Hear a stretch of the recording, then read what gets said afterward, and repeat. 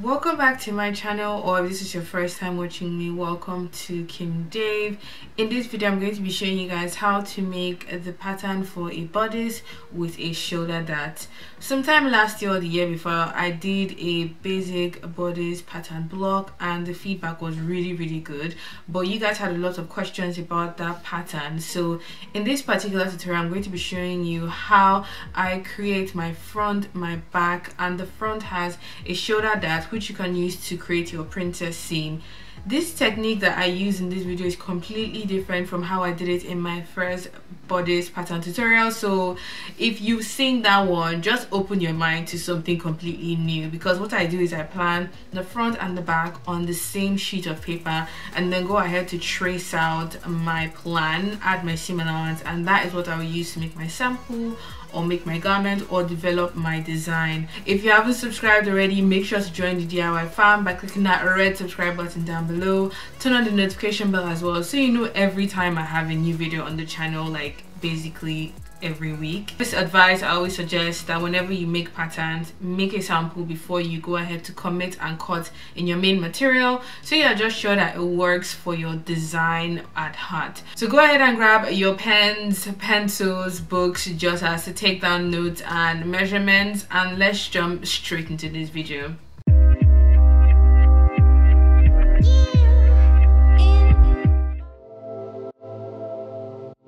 I'm going to be working with the following tools as per usual to create this pattern. I have my pattern master and my set square which come in very handy when I draw my straight and my curved lines. I have my roll of pattern paper, my long metal ruler, my pencil, eraser, sharpener, paper scissors, my marker pen, as well as my tape measure to take down my measurements. You will need the following measurements and possibly more as you create this pattern. Just make sure you use yours for the best results so it suits you or your client. So I highly recommend this pattern cutting made easy by Gillian Holman. I would have not been able to create this tutorial without the help of this book. So I'm going to be linking it below for anyone who is curious to check it out. So I'm going to go ahead and plan my back bodice and I'm just going in drawing a long horizontal line like so. This is going to become my shoulder line later on and along this line I'm marking half of my bust line plus about one inch each so I ended up with 19 inches for my measurements so I'm just going ahead to square this line downwards so we create something that looks somewhat of a square. And then we can plan the back on one side and the front on the other side. So I'm just going ahead to draw a long vertical line like so. This is going to become my center front line later on but we're going to be focused on the back for the first half of this tutorial. So next up, I'm going to be marking my shoulder to hip measurement vertically. So this is from my shoulder all the way to my hip because I want the plan to cover sort of the top half of my body, bust, waist, and hip included. So once I've marked that measurement across, mine was 26 inches, I'm just joining my points together using my set square and my marker pen. So I'm just going to annotate that this is my hip line so I know everything else falls within this region. So next up, I'm marking about one inches down my back neck and I'm going to divide my around neck measurement by five and I'm going to mark this horizontally. So when you join these two points together, we have our back neckline. So vertically downwards one inch, horizontally divide your around neck by five and whatever that is, you mark that inward to get the point that you connect together to have your back neckline. So I'm going down another one inch uh, vertically down my center back like so. And from this point, we're going to be squaring across by 10 inches. This is going to help us create our back shoulder point. And I'm going to mark my 10 inch angle there. And we're going to be connecting it to the top of that back neck. So we have our back shoulder. Next up, we'll be marking our armhole depth, which is distance from the edge of the shoulder down to the bottom of the armhole like I said, I suggest you work with your measurements so you have the best outcome that fits you or your client. And I ended up working with 8 inches for mine, so yours might be different from what I am using in this tutorial. So I'm just connecting these two points together like so. This is why the set square comes in really handy because it just ensures that my lines are nice and straight. So once we've drawn in that line from that point across the front and the back, we're going to be drawing a long line which is going to become our underarm line or top chest line. Next up, I'm just marking the middle point on this particular line here and I'm going to be drawing a sort of horizontal line that goes back into the center back for this particular area here. So once that is all drawn and in place, I'm going to mark half of my cross top back measurement along this line because this is going to help me draw my back arm curve. So mine is 7.5 inches and I've just marked that here like so. Next up I'm going to be dividing my bust line by two again. So I have a quarter of that measurement to work with for the back side of this pattern. So I'm just marking that along this point here. And on this particular angle here I'm just going in to draw a diagonal line and mark about one inch of that diagonal line so that guides me on how deep I want that back arm curve to be. So I'm just going to take my pattern master and my marker pen and I'm going to be drawing in my back arm curve. The back arm curve is usually a bit shallower compared to the front. The front is a lot more curvier. So just keep that in mind when you're drawing this shape into your plan Aside my duplicated point here like so so far so good. I have my back neckline shoulder and back arm curve in place. Next up we can go ahead to create the side of the back. So I'm just going down here to extend that quarter bust point downwards. So it goes all the way down to the hip and this clearly divides the plan into the back and the front so I'm going to go ahead and mark my shoulder to waist measurement. This is a vertical measurement, so from your shoulder to your waist. Once I've marked that in place, I like to mark it across two or three points. So when I draw a horizontal line across, those points act as a guide for me to ensure that I have a somewhat straight line that goes from my back all the way to my front plan later on so I'm just drawing this in with my set square like so and once my line is complete I'm going to go back to that waistline and add my dot so you can go ahead and write that this is your waistline is up to you but I just went ahead to write that in place. So I'm going to go back to my back waistline and I'm going to be marking the middle point here and this is going to become the middle of my waist dart I'm going in now to draw a vertical line that cuts through that midpoint and this is going to guide me to draw in my dart points. So I'm marking half an inch on both sides of this vertical line like so and I'm going to grab my set square and draw the iconic triangular shapes that darts have. So what this dart is going to do is going to help to get rid of the extra measurement along the waist so it sits nicely on the body. I like to stop my dart on a bodice about half an inch from the hip line so I don't lose any measurements when I've stitched up my, my dart later on. So now this is what my back is looking like. I like to always cross check my measurements, cross check your bust, cross check your waist and your hip that you've not gotten rid of any extra measurement that you actually need. And if there's any excess you can get rid of it through your center back or through your side. I like to remove about half an inch from the side and from the center back. And what this will do is it will help to create a curved shape on the side seam as well as on the center back. On the sides, I like to start my curving about one inch below my upper chest line so I don't Eh, get rid of any measurements that I would need for my bust point or my bust line.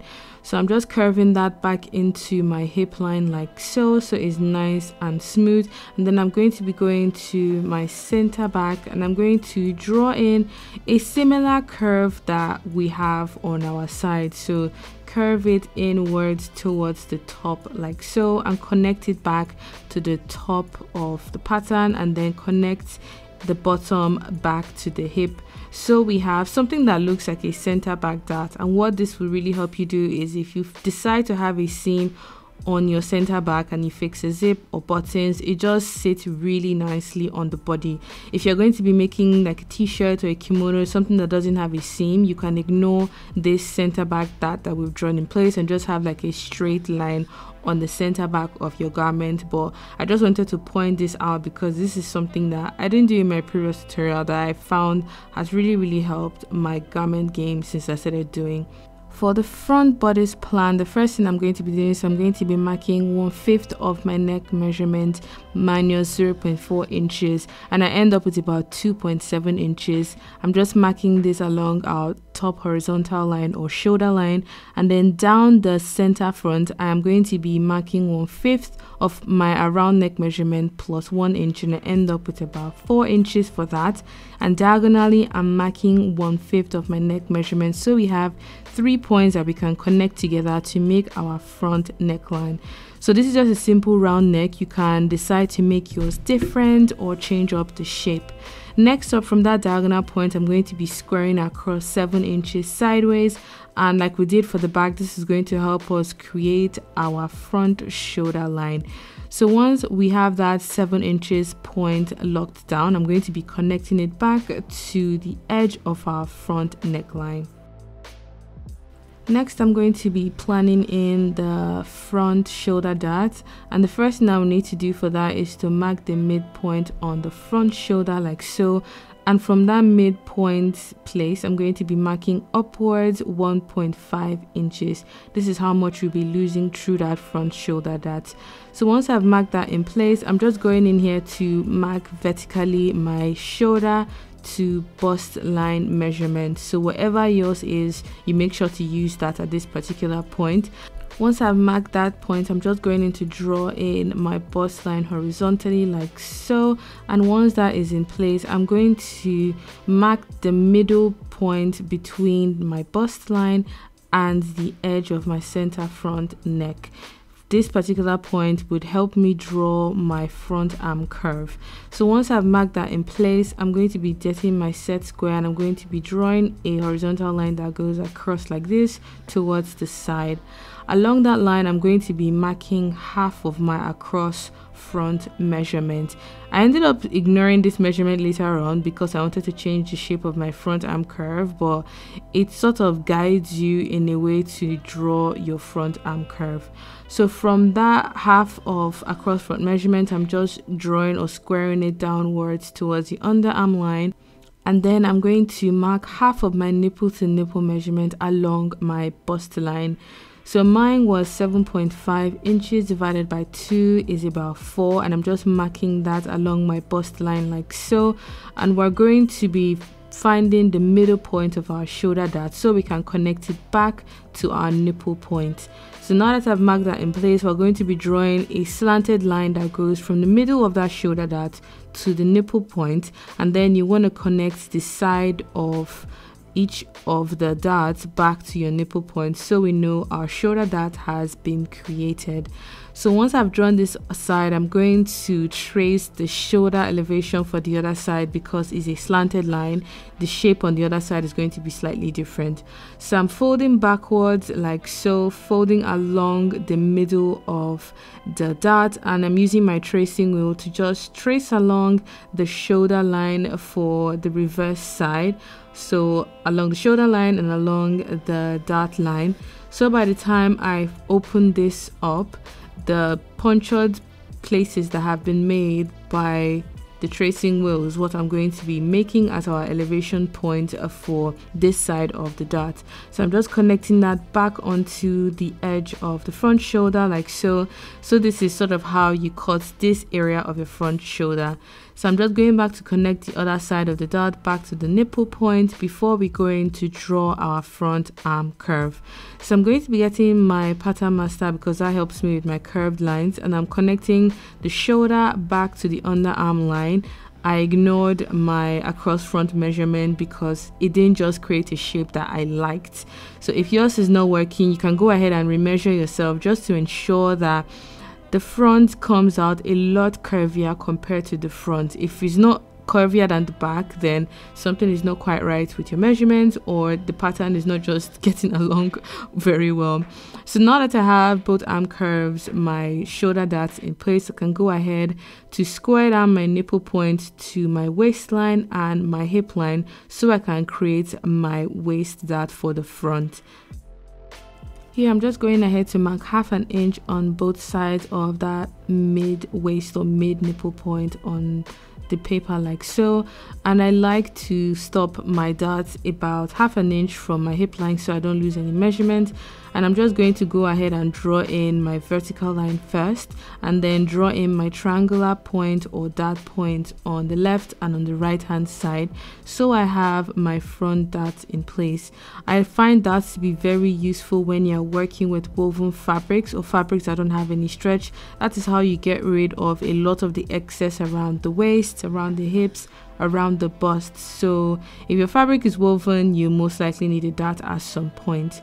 So i'm just going in here to finish off this part of this front waist dart like so. And once that is done i always go back to double check my measurements. And if you have any excess which is usually about half an inch because of the ease we added to the whole pattern plan at the beginning you can get rid of that through the side seam. So curving in towards the waist like so and then curving out towards the hip so you have a curved side seam for your front plan. So with that done the plan for the front is complete and i like doing front and back on the same pattern because you get to really see what the shapes look like and if they work together. Also remember to cross check the shoulder length because the back has to match the front after you've sewn in your front. That if it doesn't match you need to either take in or add on one of the shoulders so they both work along the shoulder as well so these are my front plans. I'm just going to go ahead and trace off my front, trace off my back, add my seam allowance so I have separate pattern panels I can use to make a sample or a prototype later on. The great thing about this uh, front plan is you have the opportunity to have a princess seam if you create a panel one and two and then you join it up the side but for this particular traced out panel here I just traced out just the main front with both darts included in place. But like I said earlier on we have our princess seam there. So if you wanted to create any fun corset type designs you have the freedom to do so as well. I also went ahead to trace out my back added my seam allowance all the way around which is about one centimeter.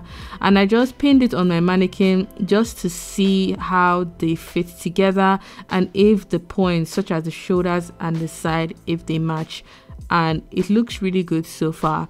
I always suggest you make a sample in some cheap material just to test the fit on yourself or on your client before making in your main garment. So you just save yourself wastage but that is for this tutorial i hope you guys enjoyed watching it if you did give it a thumbs up let me know your thoughts ideas and suggestions down below. And until my next video, have a good morning, afternoon, and evening wherever you are.